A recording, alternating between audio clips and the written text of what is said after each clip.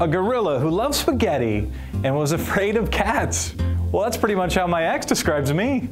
Hey, I'm Michael Callahan, and on this forgotten day in 1952, the Chronicle reported on an orphaned baby gorilla that had been captured while a local family was on a hunting trip to French Equatorial Africa. The gorilla, who was named Hugo, was living with the Greer family on Mandell Street in southwest Houston. Baby Hugo loved taking baths, drinking milk, and tickle sessions.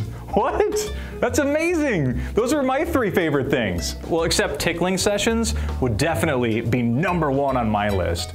Do you think he liked Taylor Swift too? When Hugo was old enough, he began living part time at the Houston Zoo, spending his days at the zoo and his nights in the Greer home.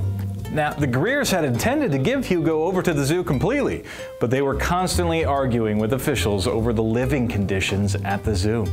Sadly, in 1977, Hugo died after being tranquilized for a medical examination. But Houstonians still remember lovable Hugo to this day. All right, do you remember seeing Hugo on TV after he arrived in Houston? Let me know in the comments below or tweet me, Michael Callahan at MCallahanTV, using hashtag ForgottenDayHOU. I'll tweet you back.